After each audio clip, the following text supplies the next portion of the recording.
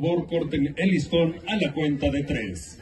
Y decimos una, dos, tres. A plena luz del día, pero por la noche se ve un alumbrado de calidad, un alumbrado que garantiza mayor seguridad a las familias, no solo de esta calle, sino que a todas aquellas que transitan, que tienen la necesidad de pasar por ellas.